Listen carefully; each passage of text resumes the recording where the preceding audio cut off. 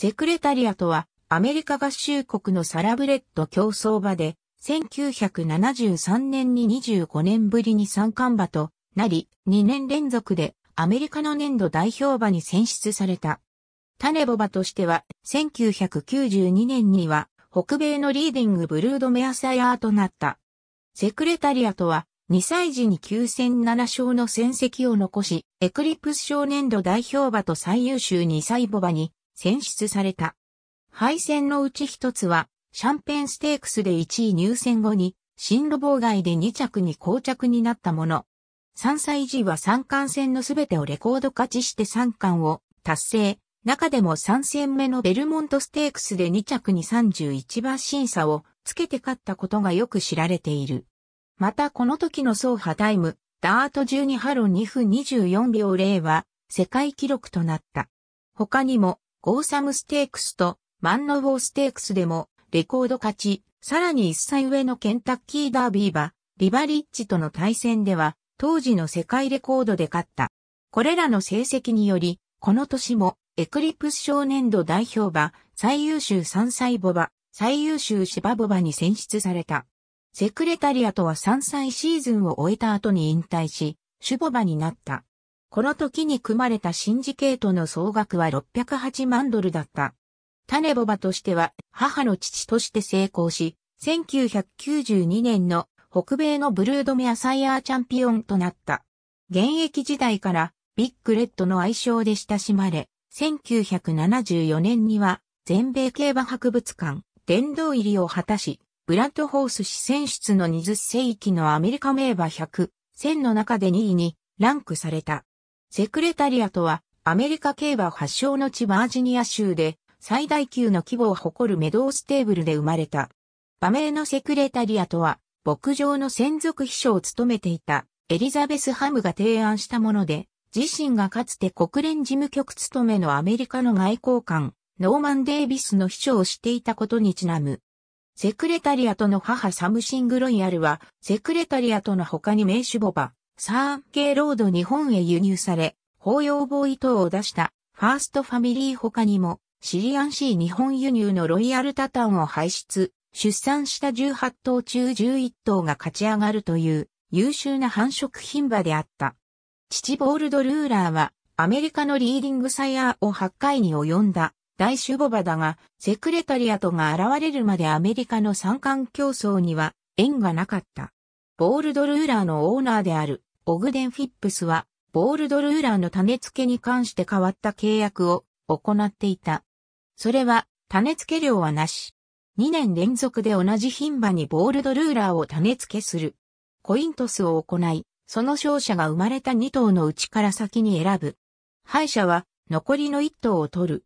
というものである。このやり方により、フィップスはアメリカでも最高の血統の牝馬の子孫を手に入れることができるのである。セクレタリアトが生まれる前に行われたコイントスはオグデンが勝利。オグデンはセクレタリアトの一歳上の全姉となる牝馬を獲得。ペニーがサムシングロイヤルの体内にいたセクレタリアトを得た。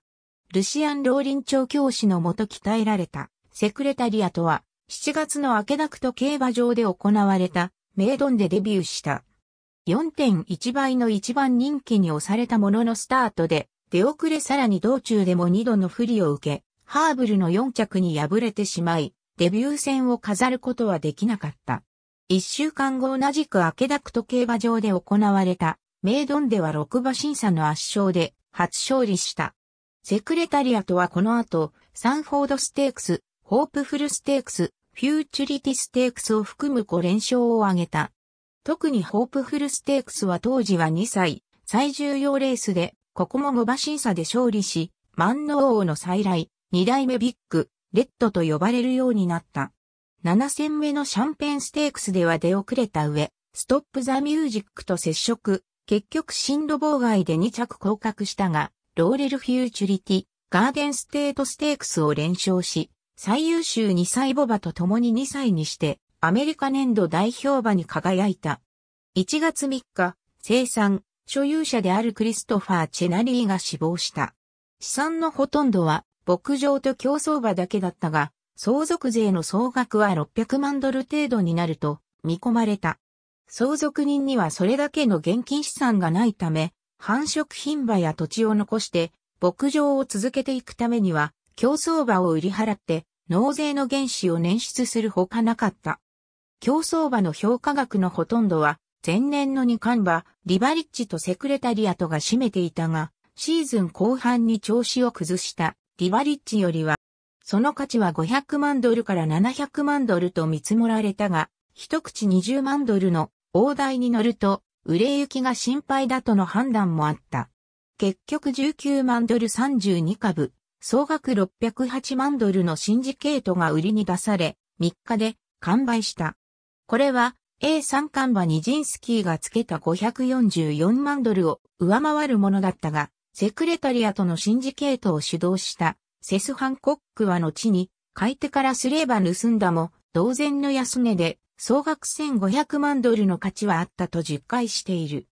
原田俊二、新、世界の名馬によると、石油王のネルソン・バンカー・ハントが19万ドルは高すぎると言ったとしている。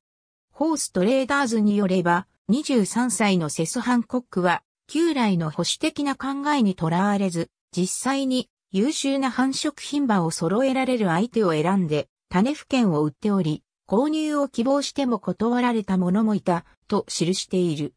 優先的に購入を持ちかけられた者の多くは、シンジケートに参加した。セクレタリアとの重さは、この当時の純金価値よりも高額だったことから、タイム誌の表紙を飾った時の純金馬というキャッチフレーズになった。実際は金額をセクレタリアとの体重で割れると1オンスが325ドルとなり、当時の純金1オンスの価格の3倍に当たることから、ゴールドより高い馬としても大きく報道された。このシンジケートの株購入者の中には、八代大グループの吉田全財も名を連ねている。この間暖かいフロリダで過ごし、3月ニューヨークに戻った。ケンタッキーダービーの前哨戦であるウッドメモリアルステークスで3着に敗退するも、それ以外は全勝で、ゴーサムステークスはレコードタイムだった。ケンタッキーダービーは最後方から徐々に進出し最後の直線で抜け出すと、ノーザンダンサーの持つレコードを0.6秒更新する1分59秒4のレコードでまず1冠を獲得した。このレコードは40年以上経つ現在でも、ケンタッキーダービーのレコードである。2冠目のプリークネスステークスも最高峰から早め、先頭でシャムに2馬身半差をつけ楽勝。タイムは最初1分55秒と発表され、後に1分54秒4と訂正された。当時ピムリコ競馬場の計測器が故障しており、どちらも手動計測値である。さらに、デイリーレーシングフォームは別の手動計測員による1分53秒4のタイムを発表した。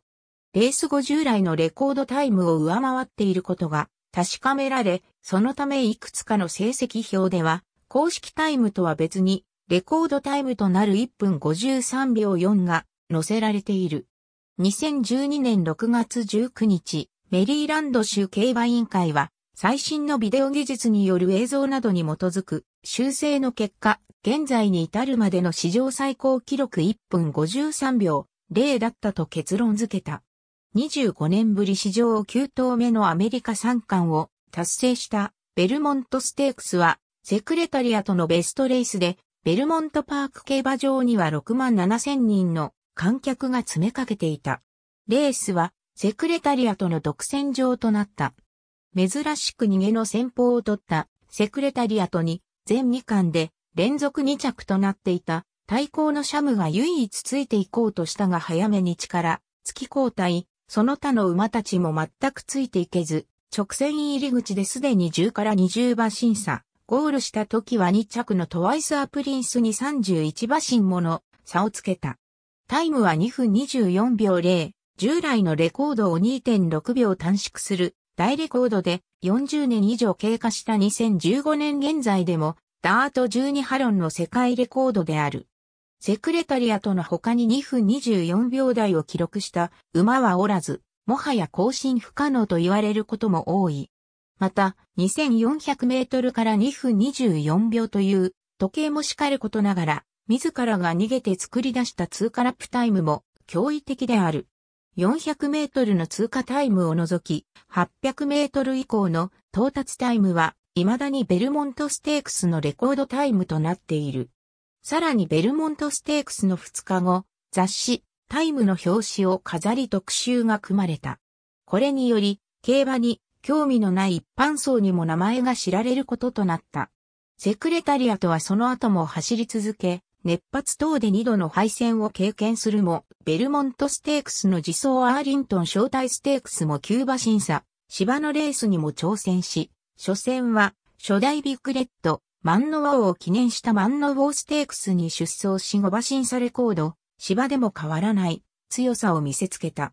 引退レースでカナダに遠征したカナディアンインターナショナルチャンピオンシップステークスも圧勝し、2歳時に続いて3歳時も年度代表馬に選出された。バテないスタミナやサラブレッド離れした筋肉とバネのある独特のフォームから繰り出される爆発的な加速力は等速ストライドと呼ばれた。セクレタリアトは競馬場やレース展開によって2種類のストライドを使いこなしていた。通常、サラブレッドのストライドの長さは馬角と関連している。前足と後ろ足の間の距離が長いほど、胴が長くなり、ステイヤーとなり、逆に胴が詰まっている馬はストライドが短くなり、スプリンターとなる。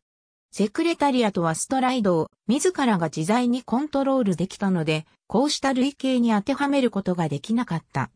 レース前の最終追い切りでは、芝、ダート問わず5ハロン56秒台後半57秒台を絶えずマークしていた事実を考えても、スプリンターとしても、かなりの高タイムを出す馬であったことは事実であろう。このストライドについて、ニューヨーク競馬協会のマニュアル・ギルマン博士は、長年、私が見てきたサラブレッドの中で、最も理にかなったパーフェクトな双方と評している。父ボールドルーラーがつなぎをされていたクレーボーンファームで種ボバ入りし、馬房は1971年に死亡した父がかつて使っていたものが用意された。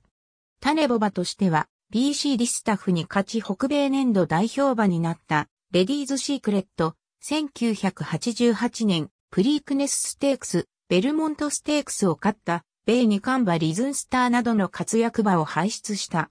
母の父としては代表格にストームキャット、AP インディ、サマースコール、ゴーンウエスト、セクレト、チーフズクラウン等がいる。